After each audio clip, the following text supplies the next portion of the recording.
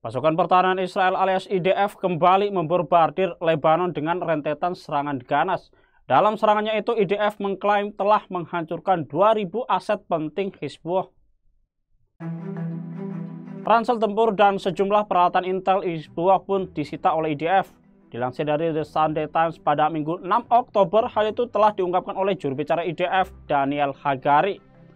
Dalam pernyataannya dijelaskan bahwa militer Israel terus bertempur dan beroperasi di Lebanon. Daniel Hagari mengklaim bahwa pasukannya telah menghancurkan 2.000 aset Hezbollah sejak awal perang di Lebanon. Selain itu, ia juga mengaku bahwa tentaranya telah mengumpulkan berbagai informasi intelijen Hezbollah dan menyita persenjataannya. Terbaru, Daniel Hagari menyebut bahwa pasukannya telah menyerbu pusat komando dan kendali Hezbollah yang berada di sebuah terowongan sepanjang 250 meter. Dalam terowongan tersebut, Zionis mengklaim berhasil merebut ransel tempur dan peralatan perang, pusat komando, dan makanan. Namun hingga saat ini klaim Daniel Hagari tersebut belum dikonfirmasi oleh pihak Hizbullah.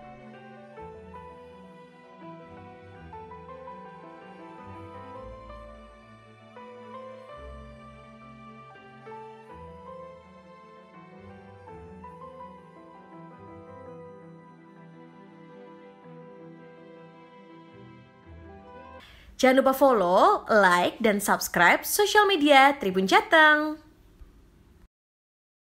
Download Tribun X sekarang. Menghadirkan lokal menjadi Indonesia.